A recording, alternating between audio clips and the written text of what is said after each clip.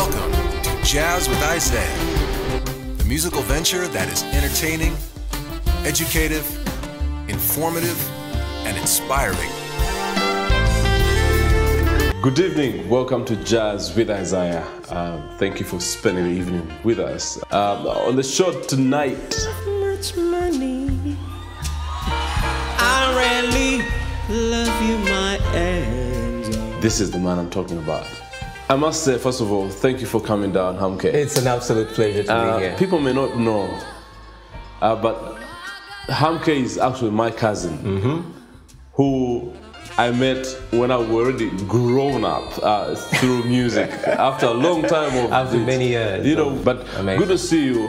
Um, one of the things I'm really proud of is having a relative who qualifies to be in a seat. Wow. Very interesting profile. Um, you are a prolific uh, songwriter, a great singer. You are. You've been a lecturer at the university. Yes. Uh, doing literature, Uh, communication skills. communication actually. skills. Yes. Fantastic. You are a worship leader who also does a lot of training for worshipers. So I don't Yes, even know where to start.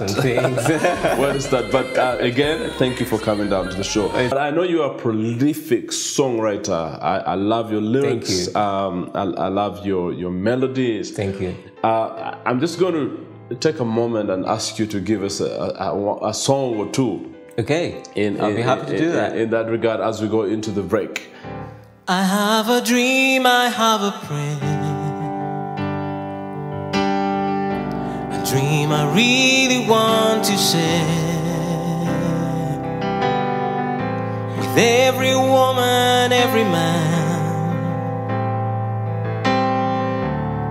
and all the children out there. Is a dream of better days with smiles on every face. As every nation, every race is united for peace.